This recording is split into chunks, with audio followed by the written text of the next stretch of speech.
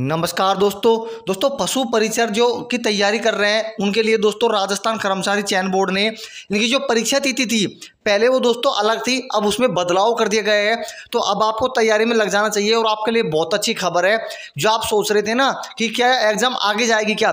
नहीं दोस्तों, एग्ज़ाम आगे नहीं गई, वापस से दोस्तों और आगे हो गई है। मतलब कि पहले जो एग्ज़ाम बताई थी ना, उससे पहले अब एग्ज़ाम हो गई है। तो वो मैं आपको आगे बताने वाला हूँ, ये आप देख सकते हो। संशोधित परीक्षा कैलेंडर है, वो राजस्थान कर्मचारी चयन बोर्ड ने जारी कर दिया है। अब हम सीधे चलते हैं दोस्तों, पशु परिचर भर्ती की तरफ़ किसकी एग्ज़ाम अब आपकी दोस्तों एक से चार दिसंबर के बीच में होने वाली है। कितने दिन तक चलेगी? एक, दो, तीन, चार। मतलब कि एक दिसंबर से चार दिसंबर के बीच में पशु परिचर की एग्ज़ाम होने वाली है। पहले दोस्तों जो डेट थी, वो थी आपकी पंद्रह, सोलह, सत्रह अट्ठारह दिसंबर, जिसमें बदलाव कर दिया गया है। अब दोस्तों नई परीक्षा कैलेंडर जारी कर दिया है, जिसमें जो अब एग्ज़ाम डेट बताई है अब ये पहले कर दिया है मतलब कि पहले ये थी पंद्रह दिसंबर को, अब इसको एक दिसंबर कर दिया है, एक से चार दिसंबर के बीच में आपकी एग्ज़ाम है, वो होने वाली है। तो अब दोस्तों आप खड़े हो जाओ। पंद्रह दिन और कम पड़ गए तैयारी में तो अब खड़े हो जाओ। आज से आप तैयारी शुरू कर दो।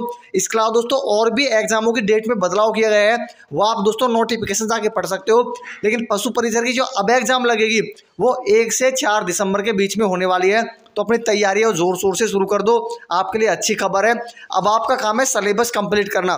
जो भी दोस्तों अब समय बचा है, इस समय के अंदर आपको इस प्रकार से तैयारी करनी है कि सिलेबस आपको कंप्लीट करना है। यदि आप बैठते थे ना कि ये भर्ती आगे और जाएगी, अब दोस्तों आगे नहीं बढ़ेगी। जो एग्ज़ाम डेट बताई गई है, इसी तारीख को आपकी एग्ज़ाम होने वाली है। बार बार दोस्तों बदलाव नहीं होगा तो आप तैयारी में लग जाओ। तो आपके लिए दोस्तों अच्छी खबर यही थी कि आपकी परीक्षा तिथि है इसमें बदलाव कर दिया गया है। तो आज की अपडेट आपको कैसे लगी कमेंट करके बताना। इसके अलावा आपकी तैयारी कैसे चल रही है, ये भी आप मुझे कमेंट करके बताना और चैनल पे आप पहली बार हो तो चैनल को सब्सक्राइब कर देना, अपने दोस्तों के साथ इसे शेयर ज़रूर कर देना। धन्यवाद दोस्तों।